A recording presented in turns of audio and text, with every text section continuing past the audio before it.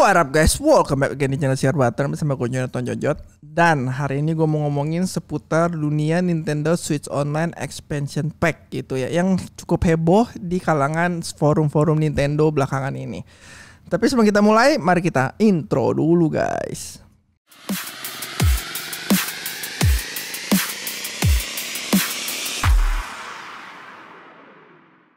Oke okay guys, jadi Nintendo ini baru saja mengumumkan Nintendo Switch Online Expansion Pack ya. Jadi bedanya di mana? Bedanya yang expansion pack ini kita nggak cuma dapat NES sama Super Nintendo-nya, tetapi kita dapat Sega Genesis plus Nintendo 64, Nintendo 64 dan juga DLC expansionnya untuk Animal Crossing gitu.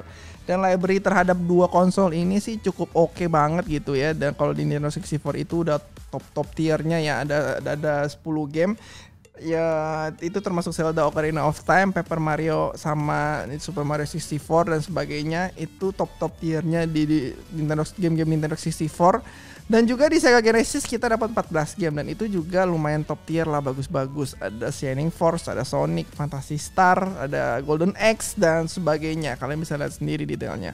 Dan terakhir ada expansionnya dari DLC expansionnya untuk Animal Crossing Oke, jadi permasalahannya di mana? Permasalahannya itu adalah harganya yang naiknya cukup signifikan dari 20 dolar per tahun menjadi 50 dolar per tahun. Ini kenaikannya sampai 250% atau dua setengah kali lipat dari harga normalnya ya, dari harga awalnya. Hal ini membuat video trailernya Nintendo Switch Expansion Pack di YouTube Nintendo itu dislike-nya banyak banget. Jadi dislike-nya ini 89 ribu eh pas dibuat ini ya dislike-nya 89 ribu sedangkan untuk yang nge-like ini cuman 16 ribu. Jadi ini adanya diskoneksi antara perusahaan Nintendo dan para customernya terhadap pricingnya expansion pack ini gitu ya. Oke, di video react gua yang pas Nintendo Direct bulan lalu itu ya, gua juga udah mikir sih pas di apa sih pas dikasih lihat pertama kali Nintendo Switch OLED Expansion Pack yang ada Nintendo 64 dan Sega Genesis emang gue lihat sih ini kayaknya akan ada penambahan harga. Tapi gue gak nyangka penambahan harganya itu sampai 30 dolar ya. Jadi naik 250 persen. Dan gue gak nyangka. Dan begitu Om Herboy kasih lihat gue harganya itu, gue mikir nih ini bisa dipisah gak sih karena gue kan gak terlalu main Animal Crossing lagi gitu ya. Di Asia Expansion ini bisa dipisah nggak? Ternyata nggak bisa. Memang harus dibeli sepaket itu. Terus gue baca-baca di internet. Kenapa sih harganya mahal? Dan ini menurut Nintendo Live gitu ya. Menurut Nintendo Live ini dulu itu Sega juga bikin virtual console di Wii U. Virtual console itu adalah game-game retro zaman dulu ada di Wii U gitu. Dan karena penjualan tidak laku dan kurangnya marketing, jadi sebenarnya Sega itu rada-rada males keluarin game-game retronya lagi kayak game-game uh, Sega Genesis dan sebagainya. Tetapi mungkin gara-gara dipaksa Nintendo ya, jadi dia perlu ngeluarin duit lebih banyak. Dan itu kemungkinan yang bikin hal ini uh, bikin pricingnya expansion pack itu rada mahal. Dan ini gue baca di artikelnya Nintendo Live kalian bisa baca detailnya lebih lanjut. Ada ntar gue kasih linknya juga di deskripsi gitu ya. Dan itu ya tapi ini sekali lagi bukan spekul eh, ini cuma spekulasi bukan statement langsung dari Sega atau Nintendo sendiri. Tetapi menurut Nintendo Live hal seperti ini yang bikin pricingnya itu rada mahal gitu menurut gue mungkin kalau ditambah library lagi kayak Game Boy Advance gitu ya ataupun Sega Saturn gitu mungkin harganya lebih make sense gitu. Karena Nintendo itu kan sekarang kan lagi getol-getolnya ngancur-ngancurin ROM ya, website-website ROM bajakan di internet gitu ya. Uh, jadi ya gue memang nggak support bajakan sih itu memang seharusnya memang ditutup gitu. Tetapi kalau dia mau tutup-tutupin begitu seharusnya Nintendo bisa memberikan platform yang lebih mudah untuk kita biar bisa lebih eh, biar lebih gampang bernostalgia gitu ya. Nintendo 64 ya bagus bagus gitu. Tetapi dengan harga tambah 30 dolar ya itu menurut gue ya masih cukup kemahalan gitu. Beda sama dengan PS Vita. PS Vita itu memang ada game-game retronya juga ya. Kita bisa beli game-game PS1 gitu. Gila ya sekarang PS1 dibilang retro loh ya. Jadi ada game-game PS1 gitu itu kalian bisa download bisa beli langsung. Harganya 10 dolaran kalau nggak salah per gamenya Memang kalau dibandingkan dengan uh, Switch Switch online ini memang lebih murah, tetapi mesti ngerti kalau di Vita Store itu kita beli langsung jadi hak milik kita forever and ever. Beda kalau sama subscription dan kita tahu subscription itu cuma sewa. Dan kalau game-game sewa atau film-film sewa itu akan jauh lebih murah jika dibandingkan dengan game-game pas saat kita beli gitu ya.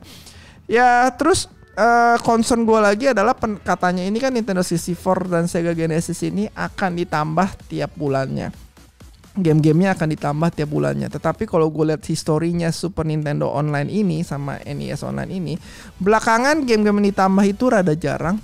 Dan kalau ditambah pun itu bukan game-game triple A gitu. Gue ngerti sih kalau misalkan game-game kayak Final Fantasy ataupun Chrono Trigger gitu ya. Itu kan game-game punya Square Enix. Gue tau memang kalau nggak ditambah kalau nggak ditambahin ya udah. Tetapi game-game kayak Earthbound, game first party Nintendo itu belum masuk Super Nintendo Online sampai sekarang gitu. Padahal di forum banyak banget yang request game-game Earthbound biar masuk Super Nintendo Online. Jadi apakah ini ke depannya akan dijual terpisah gitu ya masuk Nintendo eShop ya? Earthbound remastered gitu? Ya gue nggak tahu. Tetapi Earthbound itu salah satu game first party Nintendo yang banyak di request untuk masuk Nintendo Switch apa, apa sih? Nintendo Switch Online ya Super Nintendo Online. Tapi nggak nggak masuk masuk sampai sekarang. Jadi apa ke depannya ke depannya update Nintendo 64 dan Sega Genesis akan bagus, nah itu gue masih tanda tanya. Tapi kalau lihat library awalnya ini ya cukup bagus-bagus banget sih, ya top tier lah seperti yang gue bilang tadi gitu. Lalu concern gue yang kedua ya, ya mungkin ada concern sebelumnya, gue gak tahu ini udah concern keberapa gitu. Tetapi concern gue yang terakhir ini ada di koneksinya Nintendo Switch Online. Nintendo Switch Online kita tahu lah rada-rada culun gitu ya. Kalau gue main Super Smash Bros juga kemarin nggak bisa connect ke Andika gitu, gara-gara mungkin ini koneksinya peer to peer gitu ya. Dan kalau kita tes internet connectionnya paling lemot itu yang Nintendo Switch Online. Kalau kita lihat apa speed testnya di PS5 gitu itu kita bisa dapat puluhan Mbps. Kalau di Xbox Series X kalau kita speed test juga bisa dapat puluhan Mbps. Tetapi kalau Nintendo Switch kalau ngetes itu di gue cuma dapat belasan Mbps gitu ya. Ya beda jauh jika dibandingkan dengan dua konsol lainnya. Ya kalau dulu kan cuma 20 dolar per tahun. Jadi gue masih bisa ya oke okay lah dengan 20 dolar per tahun lebih murah dari yang lain jauh gitu ya ya masih masih oke okay lah dengan dapat belasan BPS. Tetapi sekarang kita ini udah bayar 50 dolar ya per tahun gitu, udah beda 10 dolar doang sama PS Plus. Gua rasa akan jauh lebih worth it jika kita beli PS Plus sekarang ya. Karena PS Plus koneksinya lebih bagus, ada direct message, bisa bikin party sendiri, voice chat sendiri, dapat game-gamenya triple A juga lagi biarpun game lama gitu ya tapi bukan sampai game retro banget gitu. Kalau Nintendo 64 sama Sega Genesis itu kan mungkin mirip emulate em, emu, di emulate doang gitu ya. Lah effortnya dikit banget. Jadi mahalnya di license doang sebenarnya. Tapi kalau PS Plus bisa dapat game-game triple A yang masih ada di konsol di konsol sekarang gitu. Jadi gua rasa kalau dibandingkan dengan 50 dolar Nintendo Switch sama PS Plus jauh lebih worth it untuk beli PS Plus gitu. Kalau buat gua ya. Terus eh, Nintendo juga beberapa direct message lah. Cuman ada save cloud doang. Jadi PR-nya Nintendo ini banyak banget nih biar bisa ngambil hati uh, para customernya lagi gitu. Gue sendiri juga bukan sebenarnya bukan pembenci Nintendo 64 pas Sega Genesis gitu. Gue suka ya kalau yang tua-tua pasti demen lah ya main Sega gitu ya main Sega main Nintendo 64 biasanya yang tua-tua demen lah gitu. Dan Nintendo harus ngebuktiin kalau networknya bisa lebih bagus dibandingkan sekarang dengan karena harganya lebih tinggi gitu ya. Dan fitur-fitur lainnya juga harus bisa dimasukin ke Nintendo Switch. Kalau enggak ya dia kalah saingan sama sebelah-sebelahnya gitu ya. Jadi harganya dua naik dua kali lipat itu ya make sense dengan adanya penambahan-penambahan tersebut gitu. Kalau cuman tambah game doang, gamenya game emulasi zaman dulu, ya menurut gue sih kemahalan ya menurut gue ya dan hal itu disetujui oleh banyak orang karena rasio dislike dan like-nya di YouTube-nya itu sangat-sangat banyak gitu ya tapi ini sekali lagi pemikiran gue doang yang kalian boleh setuju dan juga boleh tidak setuju. Kalau kalian tidak setuju boleh komen-komen juga. Kalau kalian setuju juga boleh komen-komen juga. Gue sebagai Nintendo fanboy ya kita harus realistis lah ya. Nintendo fanboy juga harus realistis kalau ini tuh terlalu overpriced gitu loh ya sekali lagi buat gue pribadi kecuali lu sultan banget gitu nggak peduli dengan harga Nintendo dan kalian Nintendo fanboy garis keras gitu ya yang wah enggak ini worth it banget gitu gitu ya ya itu terserah kalian juga sih. Tapi buat gue pribadi ini tuh Nintendo masih perlu diperbaiki lah.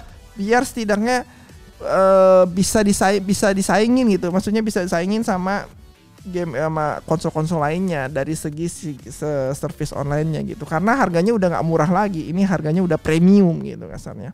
Oke, sekali lagi terima kasih teman-teman sudah mendengarkan pemikiran gue sendiri. Kalian boleh setuju, boleh komen-komen ya. Ntar kita ketemu lagi di segmen selanjutnya. Oke, terima kasih supportnya and I will see you guys next time. Bye bye.